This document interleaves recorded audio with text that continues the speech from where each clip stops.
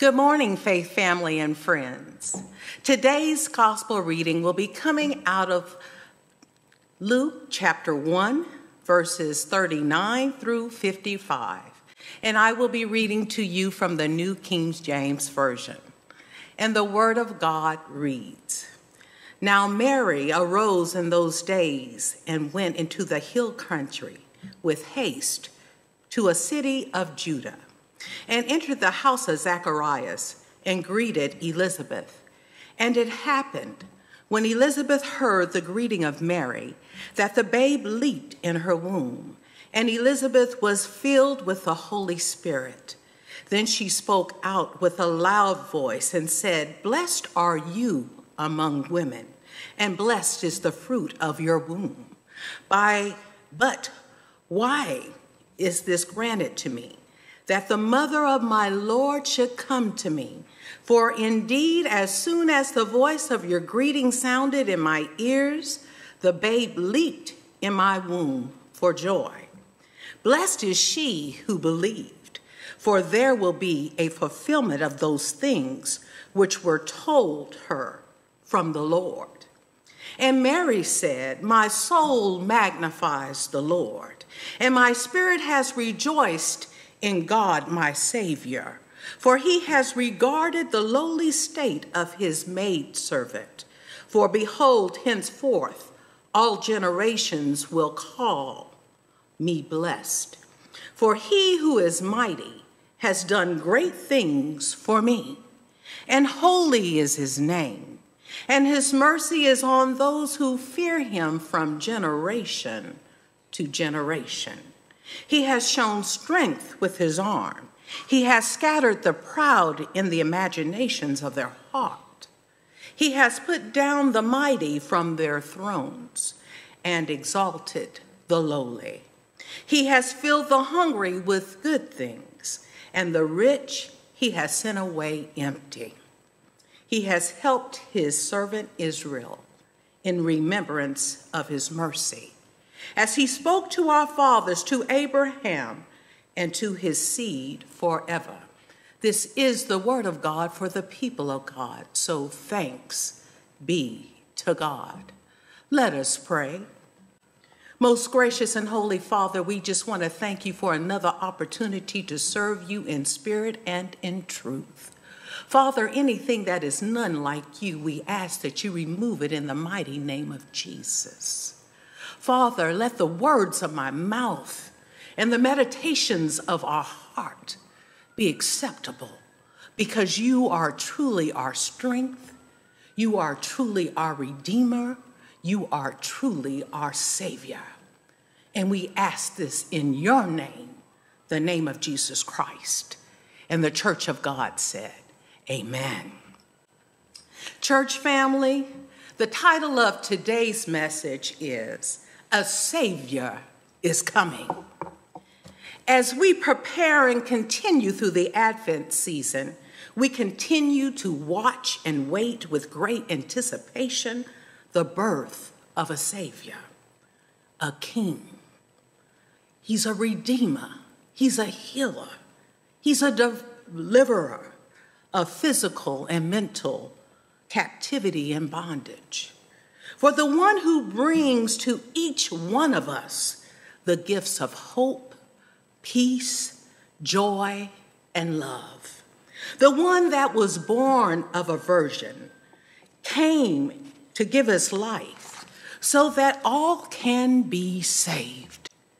Through his mercy and his amazing grace, he gave of himself and he emptied himself. A hope we empty ourselves and draw closer to the source as we reflect and remember in celebration the birth of the one who came to save the world. As we gather with our families and tell stories and pass down the family history and traditions, my hope is that we will laugh and share things with one another and reflect on life's journey the changes we've made, the growth we've experienced, and understanding on how to live and navigate our way forward. as we seek wholeness and righteousness. Holding on to and sharing with other the gifts of hope, peace, joy, and love, which is the true meaning of this season. We are blessed. We are blessed to be a blessing as we spend time with each other and the ones we love and remember those that our hearts hold dear. These moments and experience in time are precious and heartfelt and kept alive through our memories and reflections that the Advent season brings to our remembrance as we watch and wait for the birth of a Savior. Mary and Elizabeth's relationship is an example of this type of blessing. For when Mary greeted Elizabeth and was moved by the Holy Spirit, Elizabeth's response to her was, Blessed are you among women, and blessed is the fruit of your womb. Because of Mary's belief and obedience to God, her blessing within her grows out of her in obedience. I can only imagine the full impact of this moment for the lives of both of these women were changed as they were embracing the task of doing their part in obedience and reverence for the building of God's kingdom. Knowing that God has a plan for each of their children to fulfill, and that they will be instrumental to the faith that brings honor to God and to their mothers. Everything about these two mothers' pregnancies and births were special and blessed. In the gospel according to Luke, chapter 1 began with two separate but parallel birth announcements. For the angel Gabriel came to Zacharias and said, Do not be afraid, Zacharias, for your prayer is heard. And your wife Elizabeth will bear you a son, and you shall call his name John. And you will have joy and gladness, and many will rejoice at his birth. Of course, Zacharias spoke to the angel and said, how shall I know this? For I am an old man, and my wife is well advanced in years. And the angel answered and said to him, I'm Gabriel, who stands in the presence of God, and was sent to speak to you and bring you these glad tidings, glad tidings of joy. Since Zacharias questioned Gabriel, he became mute and not able to speak until the day these things took place. Because you did not believe the angel's words, which will be fulfilled in their own time, Zacharias remained mute until the eighth day after John's birth, when the people came to witness the circumcision of the child. They were trying to name the male child after his father. First, his mother shared with them that his name will be John. Then Zacharias wrote on the writing tablet he was using to communicate since his temple experience with the angel Gabriel. On the tablet, Zacharias wrote, His name is John. Immediately his mouth opened and his tongue was loosed, and he spoke, praising God. It was at that point Zacharias got his voice back. See, it's amazing what happens when we are obedient to the will of God. There was the first announcement about the birth of a son. Then, further in the same chapter of Luke, Mary had her encounter with the angel Gabriel. When Mary was approached, the angel said to her, Do not be afraid, Mary for you have found favor with God. And behold, you will conceive in your womb and bring forth a son, and shall call his name Jesus. he will be great and will be called the Son of the Highest. And the Lord of God will give him the throne of his father David, and he will reign over the house of Jacob forever. And of his kingdom there will be no end. The angel Gabriel shared with Mary as she questioned how she would be with child since she was betrothed to a man, but was yet a virgin. Gabriel informed her and said, Mary, the Holy Spirit will come upon you, and the power of the highest will overshadow you, that the Holy One who is to be born will be called the Son of God. The angel continued talking to Mary and shared with her that Elizabeth also conceived a son in her old age. And this is now the sixth month for her, who was called barren. See, God can do anything that He says that He would do.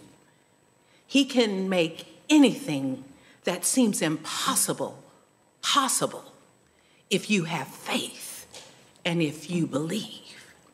You see, God prepared both of these women because the task ahead of them was to be a vessel through which the blessings from the Most High God would come to pass and fulfill the scriptures with the birth of these two sons, John the Baptist and Jesus the Son of God.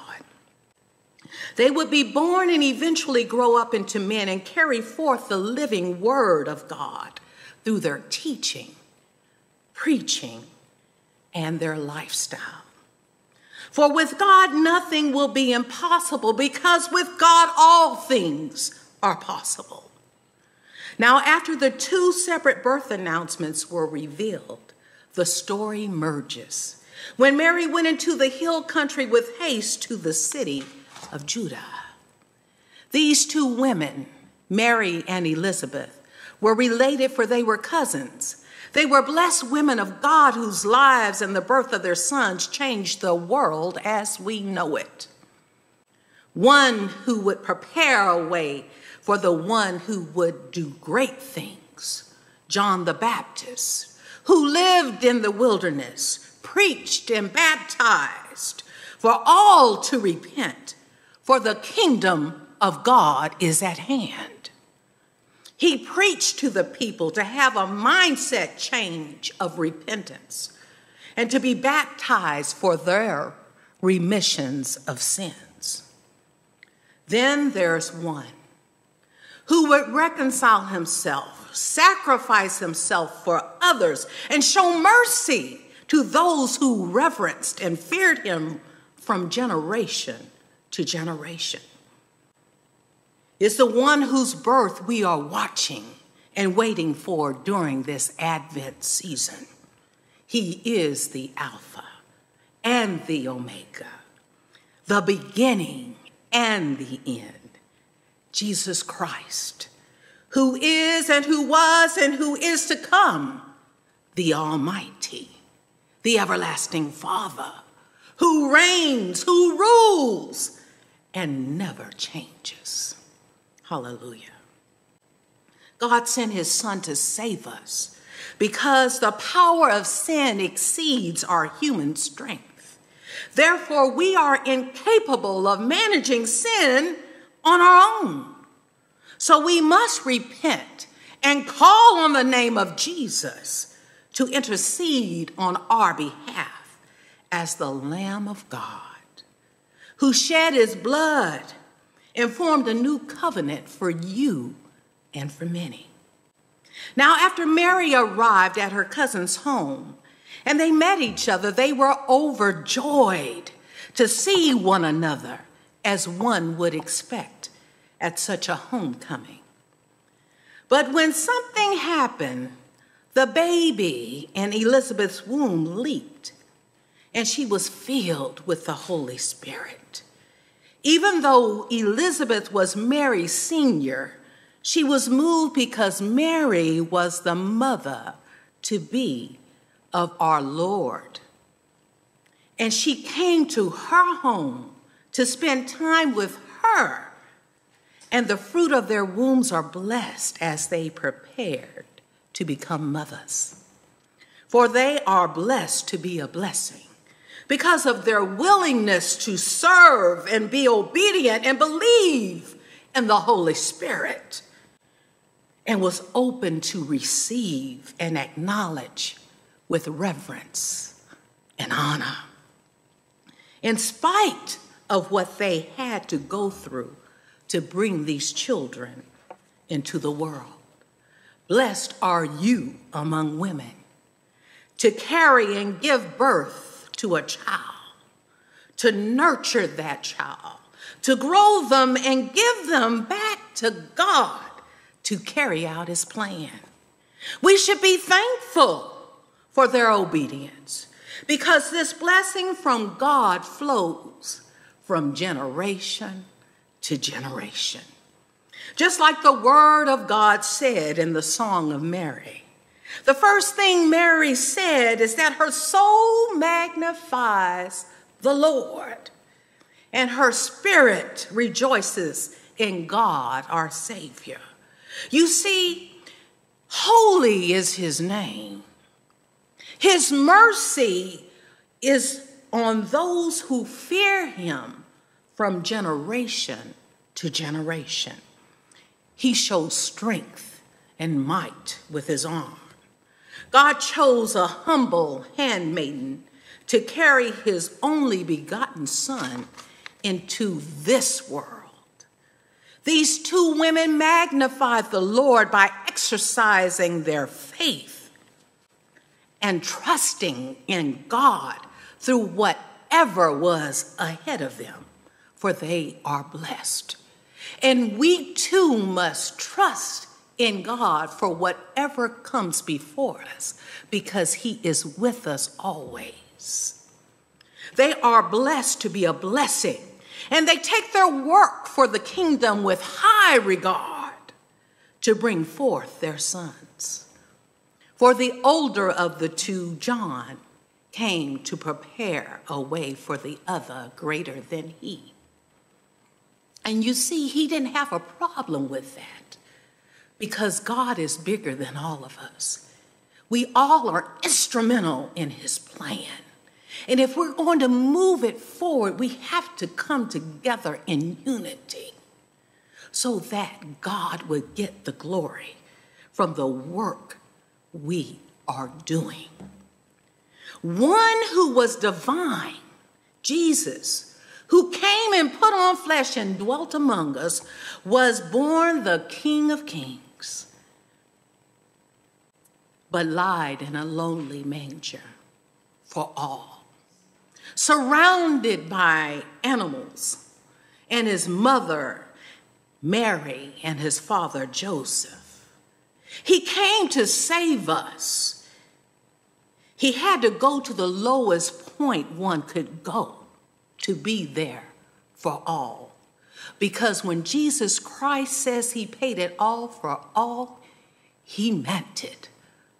The ones that know him and the ones that don't.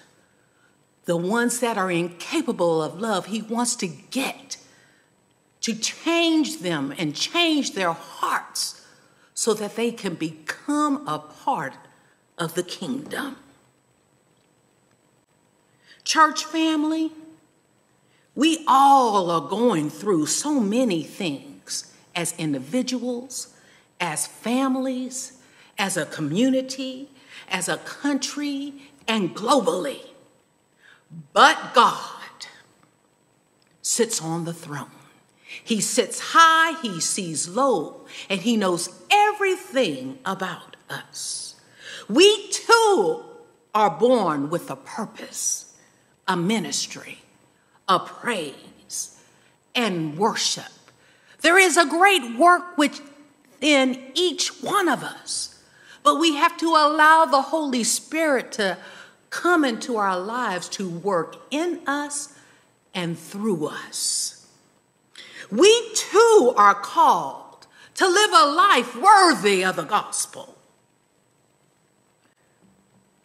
We too have a great work within us to bring forth into the world for the building of God's kingdom and his people, those that are capable of love and those that don't know love.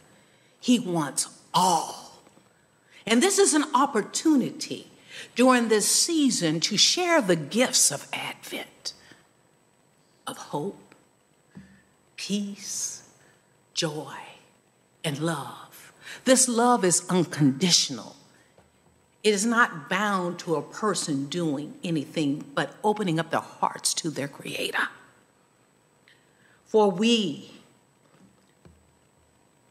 will reflect and remember this Advent season, preparing for the coming of a Savior. Let us remember the hearts and actions of Mary and Elizabeth, for they believed and put their faith in action with love for their God and each other. As believers, we are called into ministry and to put our faith into practice and apply the living word of God into our lives and the way that we live. A Savior is coming. So let us prepare and stay ready to receive this precious gift who brings us hope, who brings us peace, who brings us joy and love and allow the Holy Spirit to come and move within our lives to bless others and give glory to the God of our salvation. This should bring us comfort in knowing Jesus Christ will save us. If you just allow Him to come into your life, He will transform you, He will grow you so that you will be more like him in his nature. For we too are created to love through our faith in action. This deepens our love, this strengthens our belief, and then we are in obedience to the word and the will of God. The kingdom living is now. We can experience this now but we just have to acknowledge Jesus Christ as the Savior that He is. A babe that was born in a lowly manger came to save the world. One soul came to save the world. A Savior is coming for you and for me. So prepare while you can and be ready to receive the power and wonder of his love towards us all. A Savior is coming. In the name of the Father, the Son, and the Holy Spirit. Amen. Church family, as the word of God goes forth, there is always a response. So let us pray. Father God, we just want to thank you for allowing us to worship you in spirit and in truth. Thank you for showing us that we are blessed to be a blessing. Thank you for touching the hearts of these women that were loved you and were obedient to your word and your will to do what you charged them to do so that it would affect one generation to the next generation and it will this blessing will have no end. We ask that you keep us, protect us, and help us to enjoy the true gifts of Advent of hope, peace, joy, and love. We thank you for our Savior. We thank you for our families. We thank you for allowing us to come together back home to be with one another. So let us experience you as we come in unity to celebrate the coming of a Savior. We ask it all in Jesus Christ's name. And the Church of God said, Amen. Thank you so much for watching this video. Please be sure to like, comment, subscribe, and share. Don't forget to connect with me on social media, Pastor Johnnie Simpson Jr. on Facebook, at Pastor J. Simp Jr. on Instagram and Twitter. Thanks again for watching, and God bless.